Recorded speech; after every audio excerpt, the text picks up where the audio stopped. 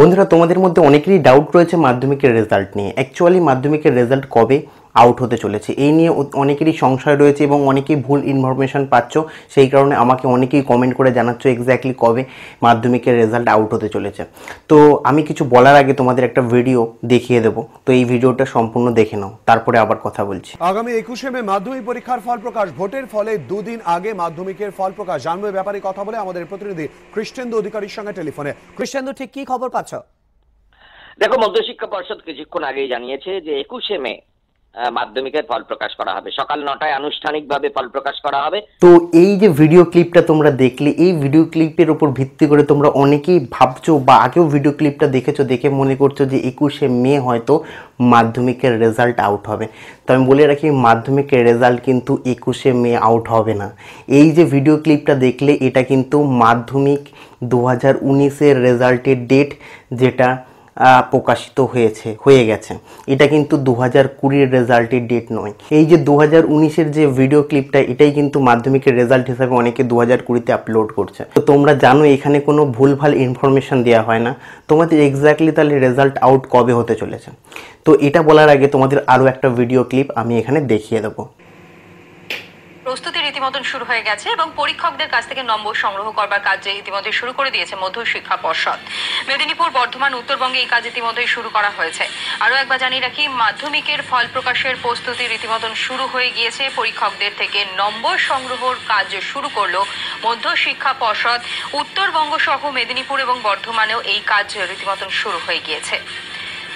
মেদিনীপুর, বর্ধমান এবং উত্তরবঙ্গে কাজ শুরু, অর্থাৎ মাধ্যমিকের যেই ফল প্রকাশ সেই ফল প্রকাশের রীতিমতো প্রস্তুতি শুরু হয়ে গেছে আগামীকাল থেকে। কলকাতা অফিসও আংশিক খোলা হবে এমনটা কিন্তু জানা যাচ্ছে।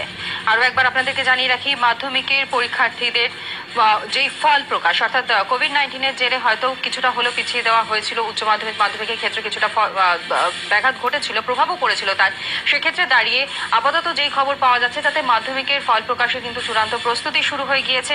উত্তরবঙ্গ মেদিনীপুর, বর্ধমানের রীতিমতো কাজ শুরু হয়ে গেছে এবং পরীক্ষকদের পরীক্ষকদের কাছ থেকে কিন্তু নম্বর সংগ্রহ করা হচ্ছে।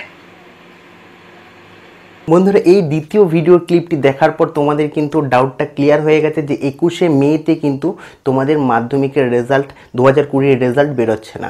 তোমাদের এখন কি করা হচ্ছে? এই লকডাউনের জন্য একটু পিছিয়ে যাবে তোমাদের মাধ্যমিকের রেজাল্ট বন্ধুরা, এখন কিন্তু জেলা অনুযায়ী বিভিন্ন স্টুডেন্টের নম্বর কালেক্ট করা হচ্ছে এবং বিভিন্ন জেলায় এখন এই নম্বর কালেক্টের প্রক্রিয়া কিন্তু শেষও হয়ে গেছে। সেই কারণে তোমাদের মাধ্যমিকের রেজাল্ট বেরোতে আর বেশি দেরি নেই। কিন্তু লকডাউনের জন্য আগের বছরগুলোর তুলনায় একটু দেরি হতে পারে। কিন্তু আশঙ্কা করা হচ্ছে যে জুন মাসের তৃতীয় সপ্তাহে তোমাদের দু হাজার কুড়ির মাধ্যমিকের রেজাল্ট আউট হবে।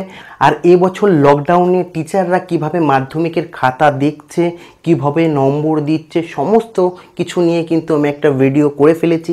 আই বাটনে কিংবা ডিসক্রিপশানে লিঙ্ক দিয়ে দেবো। তোমরা ওখান থেকে অবশ্যই ভিডিওটি দেখে নাও। তোমাদের মাধ্যমিকের খাতা চেকিংয়ের বিষয়ে এবং রেজাল্টের বিষয়ে কিন্তু নলেজ হয়ে যাবে। আর যেটা বললাম যে আশঙ্কা করা হচ্ছে, জুন মাসের তৃতীয় সপ্তাহে তোমাদের মাধ্যমিকের রেজাল্ট বেরোবে। কারণ সহ আমি ওই ভিডিওতে আলোচনা করেছি। এখানে আর বলব না, অনেকেরই সংশয় ছিল মাধ্যমিকের রেজাল্ট নিয়ে। এই এই ধরনের ভিডিও দেখে তারা অনেকেই আমাকে কমেন্ট করছিলে। তাই জন্য এই ভিডিওটি। আর অফিসিয়ালভাবে মাধ্যমিক রেজাল্ট দু হাজার কুড়ি সম্পর্কিত কোনো বিজ্ঞপ্তি আসলেই তোমরা সবার প্রথমে এই চ্যানেলে পেয়ে যাবে।